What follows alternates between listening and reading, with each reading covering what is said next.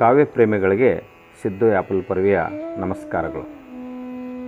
ನನ್ನ ಇಂದಿನ ಕವಿತೆ, ವಸ್ತು ಏನು ಬದುಕ ಕಾವ್ಯಕ್ಕೆ? ವಸ್ತು ಏನು ಬದುಕ ಕಾವ್ಯಕ್ಕೆ?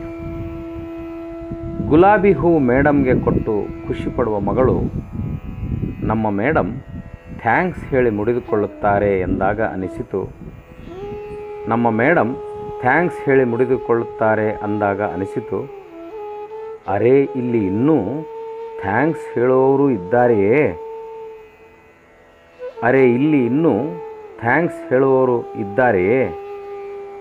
ಕರ್ಣಗಳ ಭರಾಟೆಯಲ್ಲಿ ಸದ್ದಿಲ್ಲದೆ ಸಾವಾದ ರೈತರು ಮಾಧ್ಯಮಗಳ ದೊಡ್ಡ ಸುದ್ದಿಯಾಗುತ್ತಾರೆ. ಮೋಡಗಳಿಗೆ ಮುತ್ತಿಕ್ಕಿ ಮಳೆ ಸುರಿಸುವ ವಿಮಾನಗಳ ಭರಾಟೆಯಲ್ಲಿ ಕರಗಿ ಹರಡಿದೆ ಬರಗಾಲ.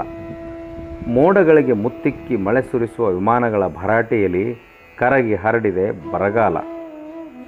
ಅಪಘಾತಗಳಲ್ಲಿ ಸ್ವಲ್ಪದರಲ್ಲೇ ಪಾರಾಗುವ, ಅಪಘಾತಗಳಲ್ಲಿ ಸ್ವಲ್ಪದರಲ್ಲೇ ಪಾರಾಗುವ ನ್ಯಾಯಾಲಯದಲ್ಲಿ ನಿರ್ದೋಷಿಗಳು ಎಂದು ಸಾಬೀತಾಗುವವರು ನಿತ್ಯ ಪತ್ರಿಕೆಗಳಿಗೆ ಹಲ್ಕಿರಿಯುತ್ತಾರೆ.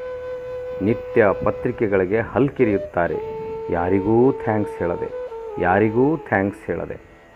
ಮಾತುಗಳು ಮೌನ ಪಡೆದ ಹೊತ್ತು, ಮಾತುಗಳು ಮೌನ ಪಡೆದ ಹೊತ್ತು. ಕೆರೆಗಳು ಬಾಯಿ ತೆರೆದ ನೀರಿಗಾಗಿ, ಕೆರೆಗಳು ಬಾಯಿ ತೆರೆದು ನೀರಿಗಾಗಿ ಹಾಹಾಕರಿಸಿದ ಹೊತ್ತು ಯಾರು ಯಮದಾಹ ತೀರಿಸಿ ಯಾರು? ಯಾರು ಯಮದಾಹ ತೀರಿಸಿ ಯಾರು?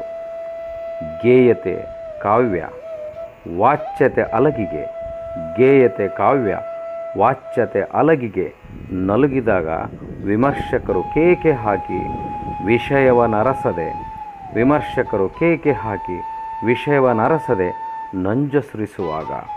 ನಂಜ ಸುರಿಸುವಾಗ ಕಾವ್ಯಕ್ಕೆ ವಸ್ತು ಏನು? ಕಾವ್ಯಕ್ಕೆ ವಸ್ತು ಏನು ಎಂದು ಸಾಗಿದೆ ಚರ್ಚೆ. ಮುಖ ಗಂಟಿಕ್ಕಿದರೂ ಮುಖ ಗಂಟಿಕ್ಕಿದರೂ ಸುರಿಯದ ಮೋಡದ ಹಾಗೆ, ಕರಗದ ಹೃದಯಗಳ ಹಾಗೆ, ಕರಗದ ಹೃದಯಗಳ ಹಾಗೆ. ನಮಸ್